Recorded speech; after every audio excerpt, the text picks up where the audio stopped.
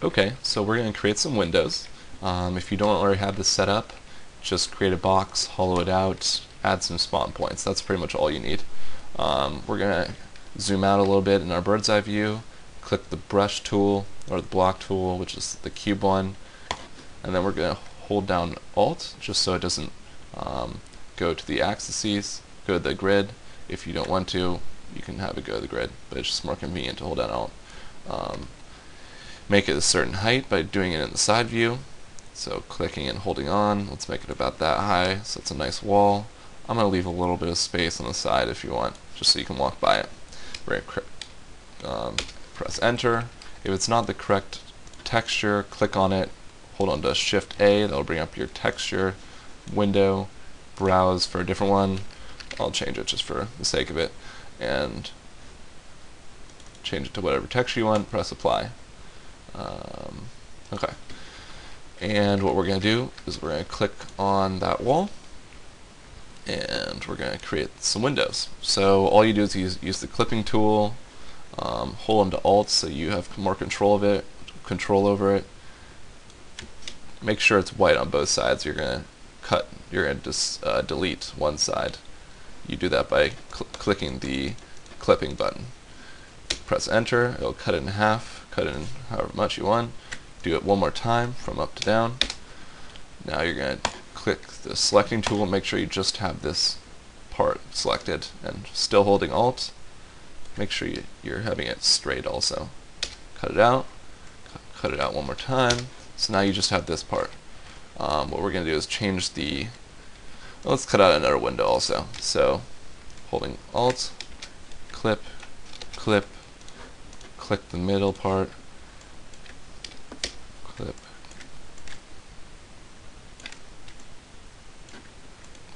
clip.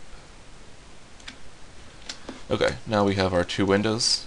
Let's control click on both of them, press shift A, and put in glass. So now we have our glass, and you see how it's kind of there's all these lines, and that's just the texture. But what I like to do is just press fit, and now it's all smooth.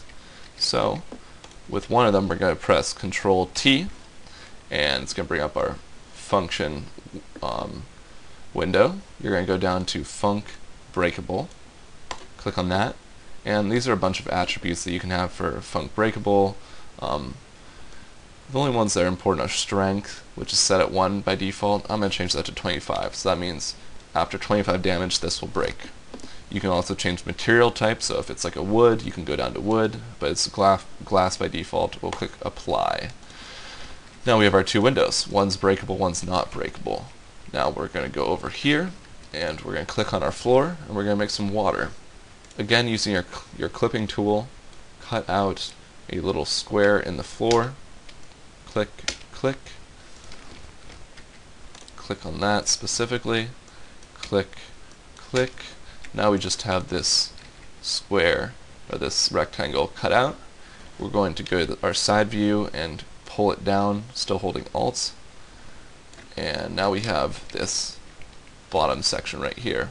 So we're going to make that into a little pool. You're going to click um, Control H, or you can press um, Make Hollow, and change that to, let's say, 12. Press OK. Now we're going to ungroup by pressing Control U, and we're going to take this top piece, and we're going to hold into Alt and make it a little bit smaller like that. So it's inside the walls. And we're going to pull it down with the bottom one so it's in the middle and then pull this down a bit so it's down about there. So now we have this box and we're going to press shift A to change the texture go to browse put in water I'll choose uh, Water DX70 is a nice one. So just double click on that, press apply. So now we have our water texture, our water block. It's not going to work unless you tie the water function to it. So click on it, press Control T, or tie to entity if you want.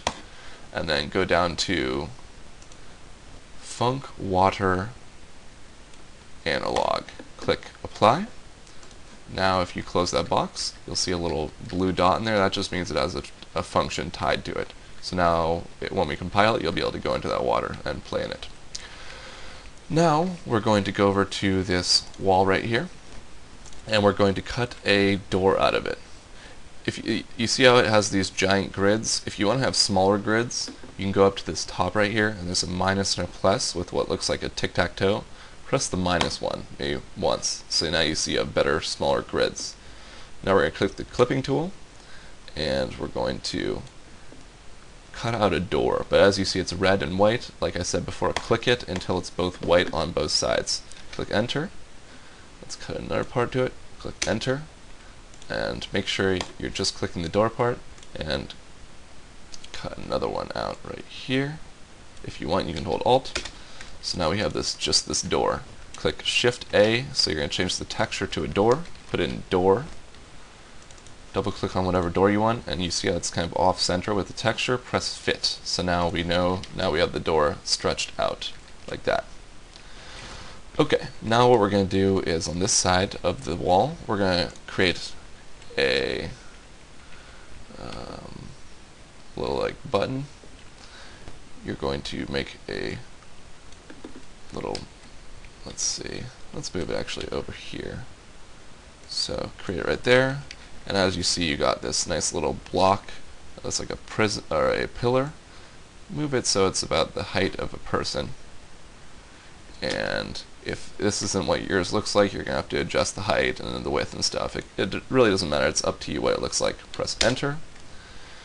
And let's change the texture. So shift A browse to some sort of concrete let's make it like a cool concrete press apply so now we have this block what we want to do is create a button for that block. So zoom in in the bird's eye view, hold on to Alt, and make a little block like that. But you see it's too tall. So what we're going to do is holding Alt, pull it in, and pull it down. So you have this little button right here that's coming out kind of. Press Enter. We want it to be a different color, so Shift A, browse, and let's make it a different concrete. So maybe a lighter concrete. Press Apply. So now you can see it looks like a button.